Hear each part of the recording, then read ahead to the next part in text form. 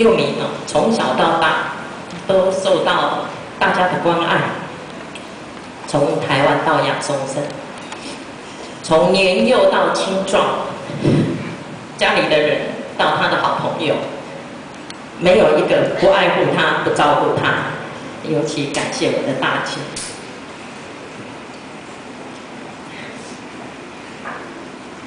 我的姐夫，从满月就协助我照顾幼民，因为我的工作非常忙，呃，从幼民满月把他带到小学四年级，